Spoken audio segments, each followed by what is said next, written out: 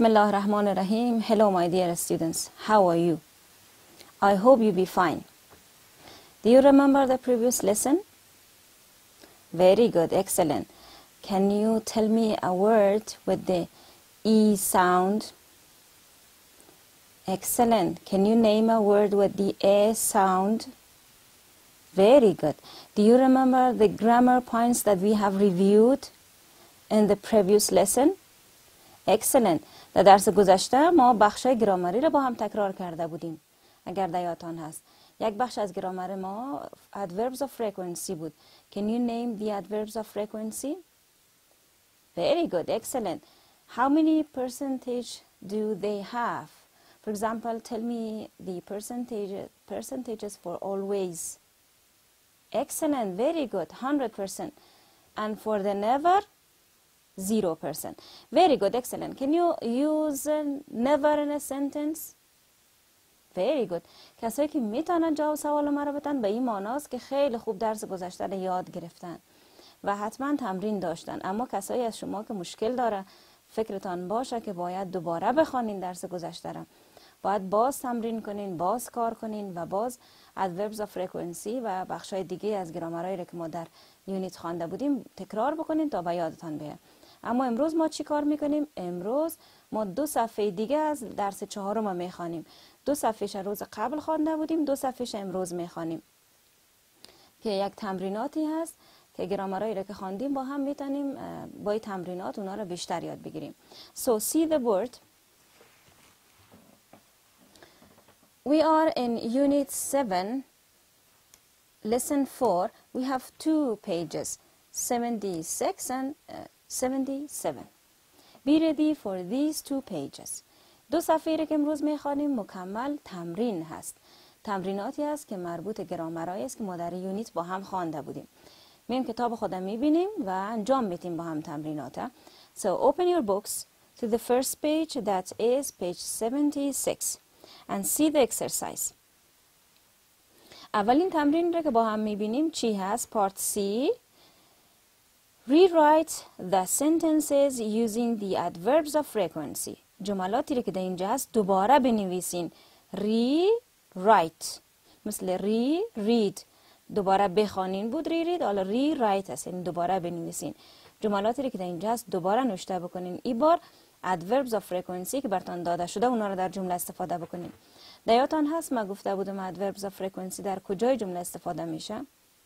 Very good. Excellent. Before the main verb پیش از فعل اصلی فعل اصلی جمله ما چی هست اینجا spends پس ما باید قبل از spends استفاده بکنم ما always استفاده می‌کنم دقت کنین اول جمله رو خودشم می‌خوانم بار دوم ممرای always He spends Fridays morning with his friends.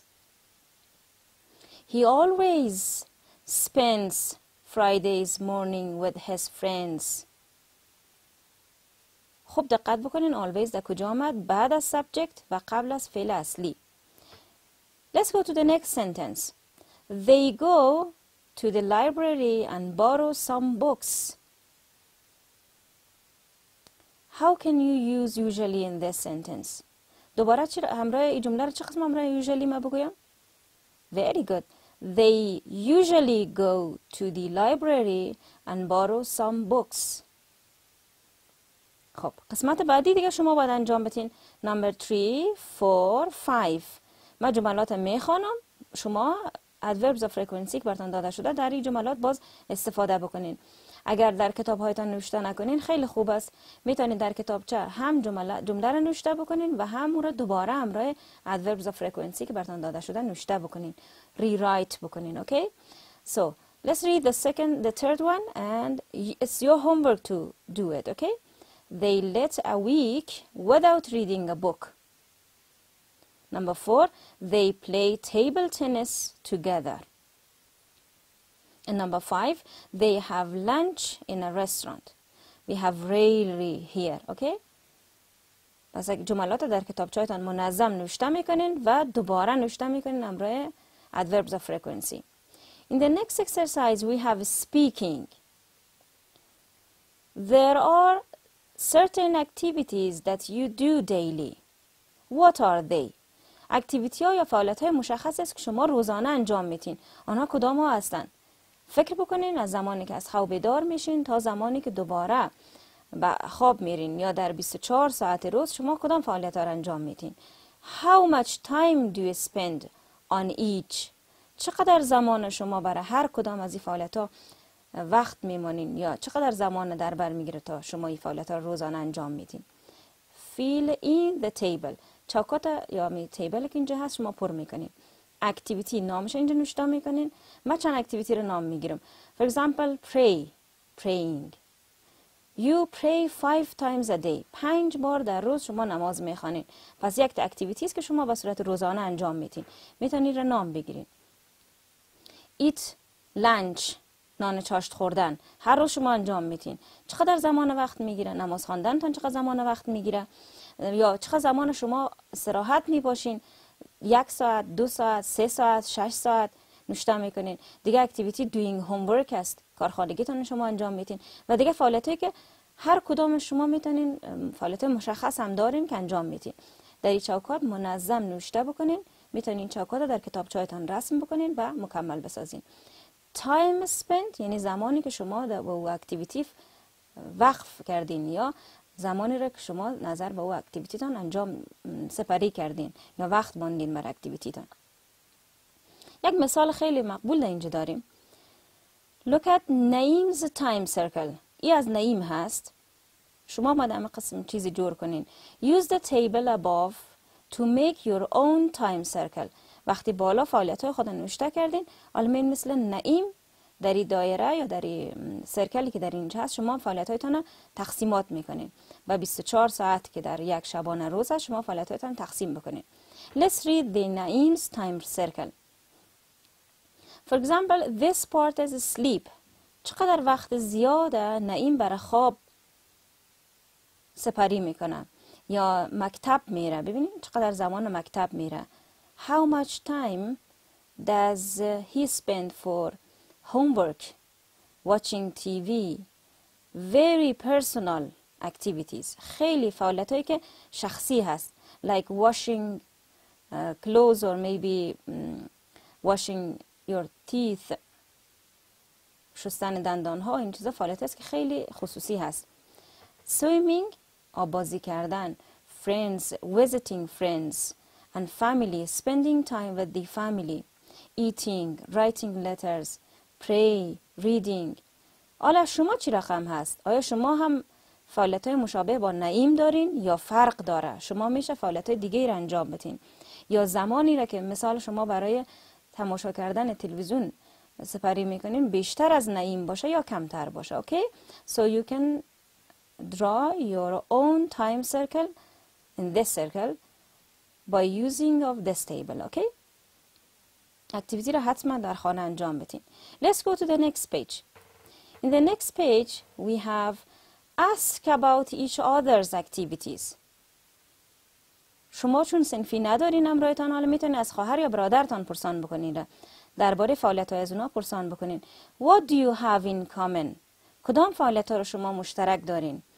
یعنی کدام زمان کدام for example sleeping. خواب هست sleep میشه هم فعالیت شما هم رای نعیم شاید یک چیز باشه. look at the نعیم time circle again. شاید شما sleep شما هم داشته باشین.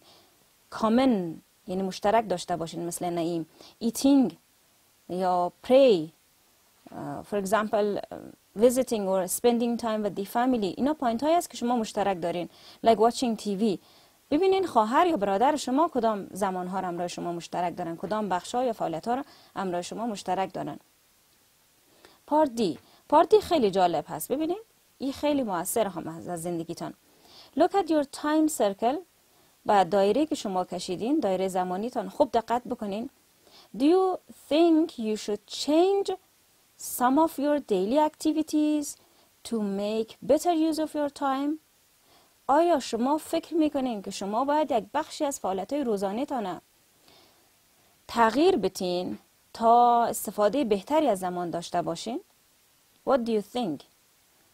فکر بکنیم که یک از شاگردای ما یا یک از شماها سه ساعت، چهار ساعت یا پنج ساعت به تماشای تلویزیون اختصاص داده آیا ای ضرور هست که می قسمت تغییر بده و بیشتر وقت خودم مطالعه سپری کنه به جای تلویزیون دیدن پس خوب دقت بکنین و دایره ای که شما کشیدین به دقت یک مرور بکنین ببینین کدام بخشایتان خوب نیست و باید تغییر بتین In the next part we have a reading part. Look at Mustafa's picture. He is Mustafa. Look at him. Where do you think he works? به نظر شما مصطفی در کجا کار می‌کنه؟ و تصویر خوب به دقت ببینید. Fill in the table. چاکات پر بکنین. یک استراتژی رو ما با هم خوانده بودیم اگر دیاتان باشه که W L بود استراتژی. ما یک بار سرتخت استراتژی رو بر شما تشریح می‌کنم. باز نظر به او ریدینگ که مربوط مصطفی هست با هم می‌خوانیم. اوکی؟ Do you remember this strategy? K W L K یعنی چی؟ K what I know. What I know. من بسیار خورد رو نو جور می‌کنم. یعنی چیزی که من می‌فهمم درباره یک ریدینگ یا درباره یک متن من از قبل معلومات دارم. What I want to know. چیزی که من می‌خوایم بفهمم از متن. از متن من انتظاری رو که دارم یا چیزی رو که من توقع دارم از متن بفهمم. و learn ال what I learned چیزی که من از متن بعد از خواندنش یاد گرفتم. من چیزی که بعد از خواندن یاد گرفتم. یعنی وقتی متن من خلاص شد من چی چیزایی رو یاد گرفتم؟ پس قبل از اینکه ما یک ریدینگ بخوانیم می‌تونیم این استراتژی رو کار کنیم.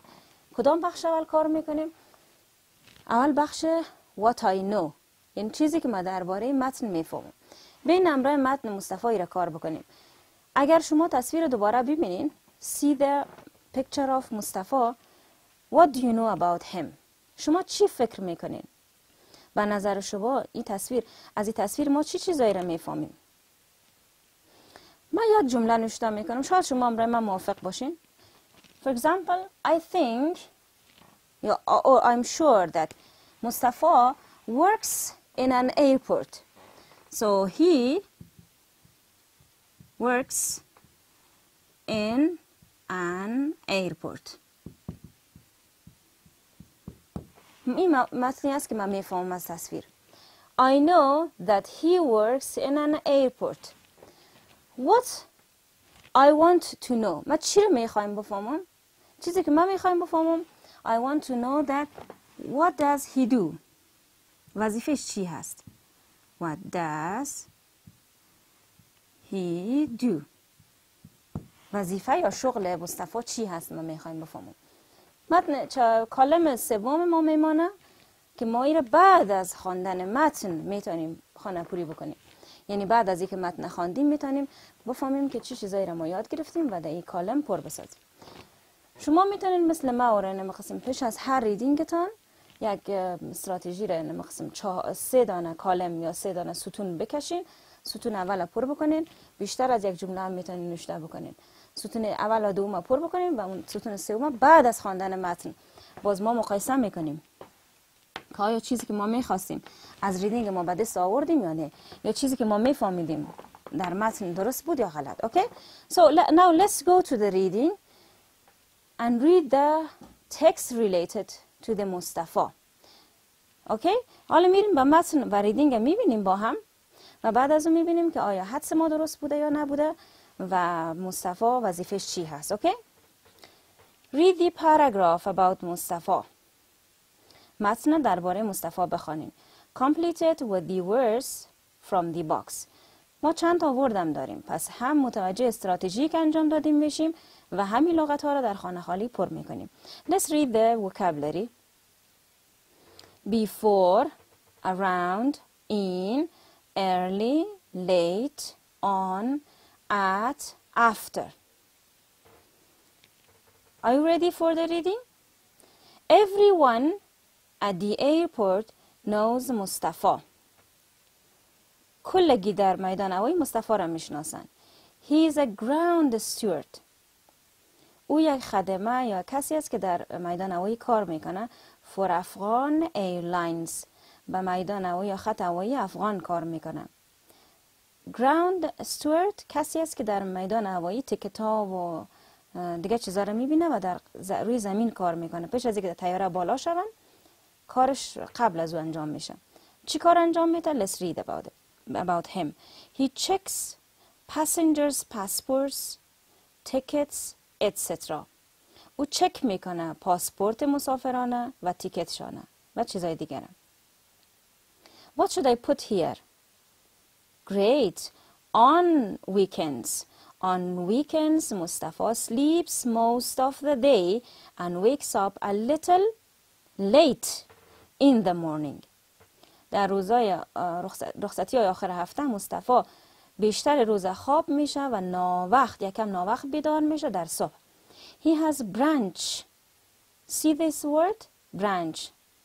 This is the uh, meaning of breakfast and lunch. BR from breakfast and U uh, N UNCH from the lunch branch غذایی که در بین صبحانه و چاشت خورده میشه around 9:30 or 10 یعنی در ساعت حدودا 9 یا 10 بجه او کدام غذای خدا می‌خوره؟ برنچ خدا یا غذای بین صبح و چاشت خدا ساعت نونیم تا یا در اطراف نونیم یا ده بجه می‌خوره.